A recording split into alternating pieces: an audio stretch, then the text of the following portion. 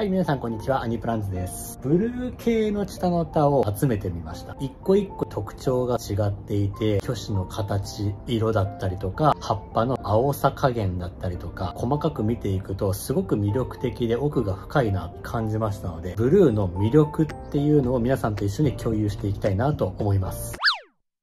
はい、今回のラインナップこちらになります。ブラックブルー、ランチョタンバー、ホワイトアイス、スペシャルスムースエッジ、ライオンズメイン、ブラックチップ、ビッグスパイン、ビースト。ビーストの点ですね。はい、こんな感じです。まず最初はブラックブルーなんですけれども、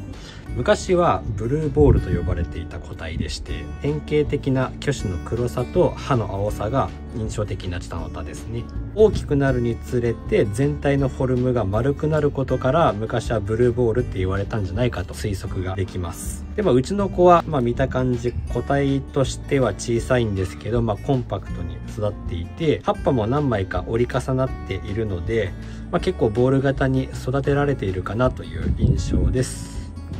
はいこんな感じですね。お次はこちらランチョタンバーなんですけれども。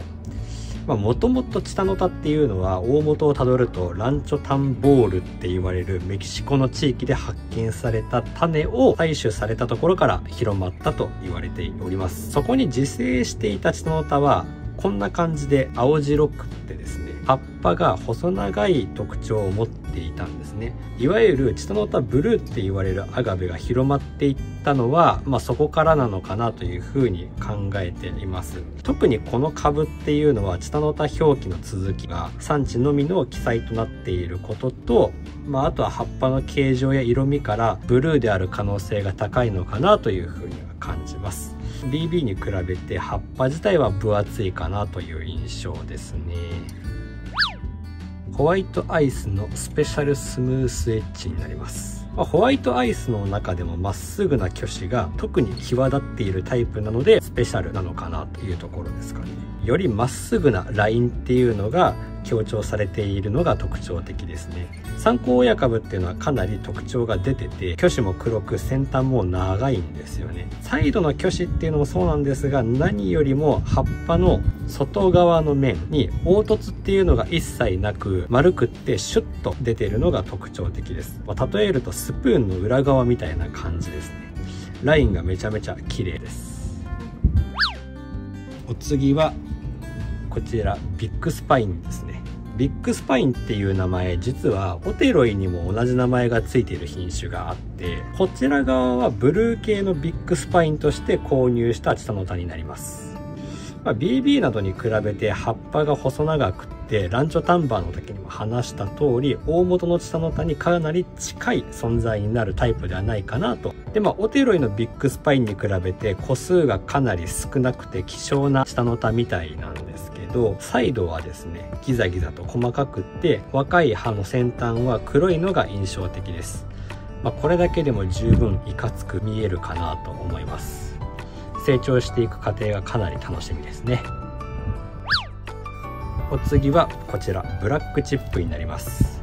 ビッグスパインによく似ててこちらもブルー特有の葉っぱが細長く開くタイプになりますね。チップっていうのは先端のことでサイドの挙手はギザギザで先端は黒くなることからブラックチップって言われているそうです。でまあ親株を見た感じ若い葉の巨子が黒くなるというよりかはどの葉っぱであってもですね巨子一本一本の先端が黒いっていうのが特徴的なのかなと思います。この小株を見てみるとあんまりそういった特徴ないように見えるんですが早速なんですが先端が黒くなってきている若い葉っぱっていうのは割と特徴的になってきてる気がしますね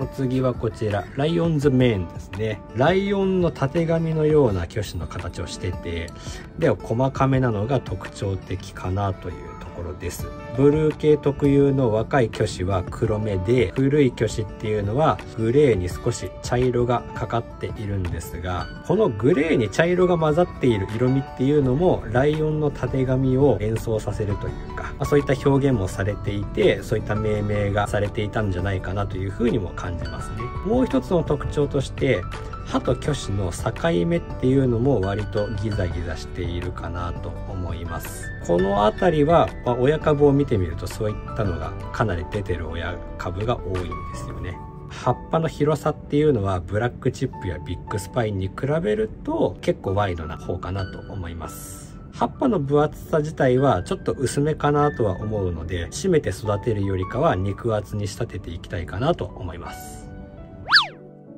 はい最後ビーストですね今小株が2つついておりますまあ、挙手の強さっていうのはまさにその名にふさわしいブルー系の中のキングっていう下の高と思います。挙手の色っていうのが若いところは黄色と赤がちょっと入り混ざっているようなそういうところから獰猛さっていうのを彷彿させているかなと思いますね。ワイドな葉で作り込めばやっぱり丸くはなりますしネットでいろんな方々のビーストを見るとある程度育ったビーストっていうのは野生感が出ているように見えるんですよね。特に下の方の虚子っていうのは灰色をしていて、まあ、何年も荒野に自生していたかのようなそんな色味っていうのがワイルド感を漂わせているかなというふうに感じます古い葉っぱのいわゆるグレーの虚子っていうのもすごく魅力的かなと思いますねまあ、ツタノタブルーから始まって、いろんなタイプのアガベっていうのが出てきている中、紹介した中にも緑っぽい葉っぱをしているアガベもいます。